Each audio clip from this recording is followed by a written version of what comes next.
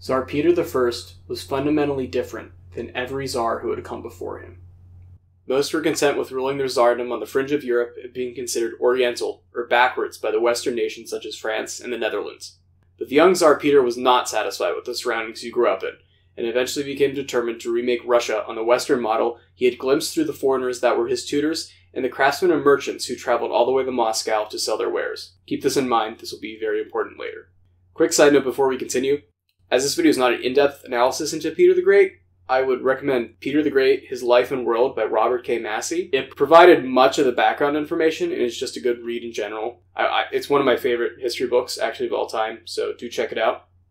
It is painful, but I'll also be skimming over most of his modernization efforts in early life, as it is not that essential to this particular video, as it's just one event later in his life, and we just need the very specific information to get there. Anyway, his later territorial expansion of the Tsardom of Russia had given the country access to the sea for the first significant time in its history. His wars against the Turks expanded Russia to the shores of the Black Sea, and his victories against Sweden in the north gave Russia access to the Baltic. For the first time, Russia had its taste of the juicy warm water ports it had become so addicted to throughout its history.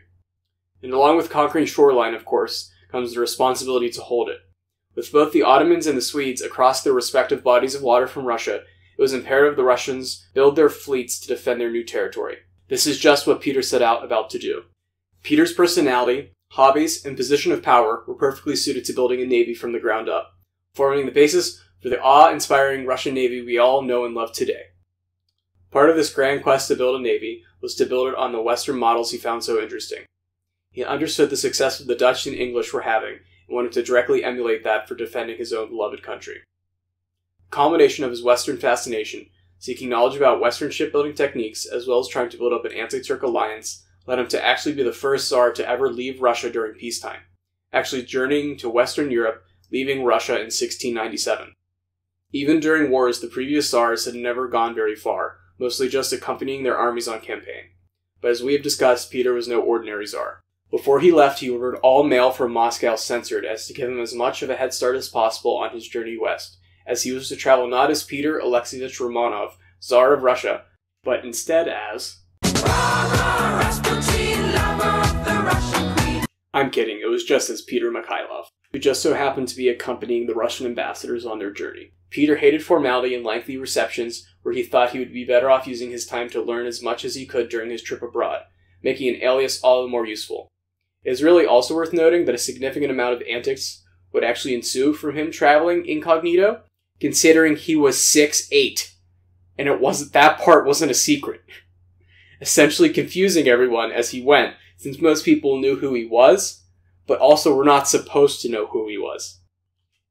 It would mostly cause ambassadors and dignitaries who he was meeting with to be extremely confused because they had no idea how to deal with the situation, as well as almost bankrupting some cities as he went through because they weren't actually expecting the czar to show up, but then they actually had to like find the money to deal with the Tsar that who wasn't supposed to actually be there.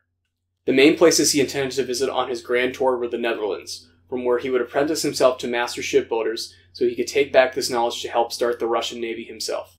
And when I say apprentice, I really do mean that in the full sense of the word, doing everything an average apprentice would do in a Dutch shipyard in 1697. He then continued on his journey to visit the famous shipbuilders in England and meet the British King William III who interestingly enough gifted the Tsar a royal yacht to take back to Russia.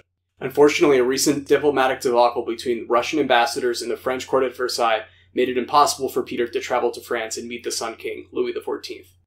It mainly involved Russians trying to smuggle a load of furs into France when they were on their diplomatic mission before Peter arrived. The reason for them doing so was that the Russian ambassadors were actually paid in their furs and had to sell them as they made their way across Europe to pay for their travels.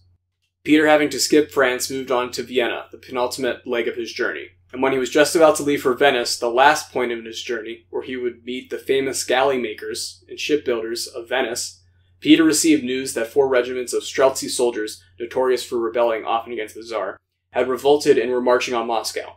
It is worth noting that Peter had already severely limited their power by removing Streltsy regiments from Moscow and dispersing them across Russia. But they were still viewed as a threat as they had sided against him in favor of his sister and brother in the past.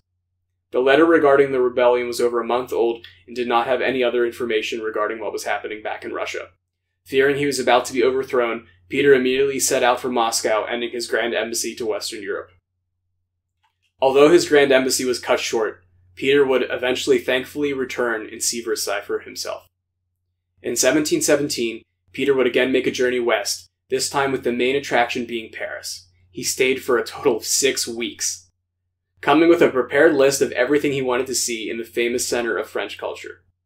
The Palace of Versailles, once the physical manifestation of power of the French King Louis XIV, is still to this day one of the most beautiful architectural achievements ever built. At the time, in the late 17th and early 18th century, it would have been even more impressive, especially to the Tsar who admired everything Western. Peter arrived at Versailles from Paris on the night of May 24, 1717.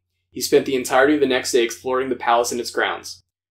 When the French duke that was supposed to give him the tour of Versailles arrived the next morning, the Tsar was nowhere to be found. He eventually found Peter rowing a boat on the palace garden's famous Grand Canal. The Tsar was apparently immensely impressed with the gardens and the fountains rather than the actual palace itself, which he called a pigeon with the wings of an eagle, in reference to the massive palace Louis XIV had added to his father's original small hunting lodge that still remained and remains the center of the palace. With this new first-hand knowledge of seeing the famous Versailles gardens for himself, he was inspired to have his own version at home.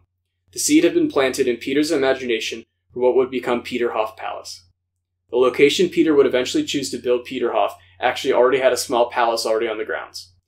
The Montplaisir Palace, which translated from French as my pleasure or my delight, it of course more resembling a small cottage than an actual palace. It's also worth noting that for one of such stature, Peter loved small houses and cottages, and would often prefer living there instead of in the large palaces that he commissioned. Construction had started in 1714 on this small Dutch inspired red brick house on the coast of the Gulf of Finland. The location was chosen as it had views of the sea, the naval base at Kronstadt Island, and St. Petersburg itself, combining all of Peter's loves within sight of each other. But as mentioned, the location of one of his favorite small cottages would eventually be the location for which he would decide to build Peterhof. At Peterhof, the buildings are not as grand or ornate as Versailles, but they are not the main attraction. As remember, Peter was unimpressed by the giant complex in France. Rather, the fountains that Peter commissioned would become even more impressive than the ones which they took their inspiration from. Not having to rely on pumps to power the fountains as Versailles did, it being on low ground, technically in what used to be a swamp, Peterhof was able to give more power to its fountains as the water was piped in from higher ground 13 miles away, therefore leading to more impressive taller plumes of water. The other technical improvement it made over Versailles was that Peterhof was able to run its fountains all day, whereas due to low water pressure and even just available water, Versailles could only run the fountains as the king walked around, having a servant run in front and behind him to turn on the fountains one at a time, with special valves set into the walkways. Personally, having visited both, just take a look. To me, there, there really is a visual difference to which ones are the more magnificent of the two, in my opinion at least. Even ignoring the visual stunners, which are the main attraction of Peterhof, Peter was a well known lover of mechanical inventions and playing tricks and jokes on people. He combined the two by having the entire garden hidden with water traps and little jokes. For example, among the trees, he had fake trees put in the garden, and when activated from his hiding place behind some bushes, they would erupt with water and drench anyone who happened to be wandering through the garden. In particular, he would aim to get the women with their massive Western style wigs, which would be ruined if they got wet. Another weird side note I don't know how good he actually was at hiding, considering he was six eight, but, you know, that that's the tale that's told. And that the trees do exist and all the traps do exist, so, you know. Anyway, here's another example. It's a maze that you have to step on the right set of stones to make it across, or you get sprayed with jets of water. Okay, I lied. There's actually a clever trick with this one. There's a guy who sits at the bench next to it, and whenever he decides that he doesn't like the person crossing the maze, with his cane in the ground, he twists it and the water erupts, making you think that it's you making a mistake, but it's just the old man or whoever happens to be sitting there messing with you. Presumably, this would have been Peter messing with his guests. The amazing thing to me is that he basically created a beautiful water park for himself in the early 18th century, before even the flush toilet was invented. Personally, this is just what makes Peterhof so much more special, at least in the gardens from Versailles. Maybe not the historical aspect, obviously Versailles has a lot more going for it, but just like the visuals and the technology involved. in the early 1700s at Peterhof is just utterly fascinating to me that he was able to pull this off. And th- it all still works. Which brings me to a sad point in the video, which speaking of everything working, I have to mention that during the Second World War, Peterhof is just outside of St. Petersburg. You can probably guess where this is going, as it was just far enough outside of St. Petersburg that it was occupied by the German army during the siege of the city. And during their retreat, they partially blew up the palace and set it on fire. However, most of the gardens actually survived and have been fully restored. But unfortunately, most of the interior of the palace is actually still under renovation and restoration after the war, which is incredible. Just just take a moment to like think about that. It was so ruined that they're still working on it today. Anyway, I just wanted to share this relatively unknown location as I find its relatively small place in history just fascinating and beautiful. Sources will be down below.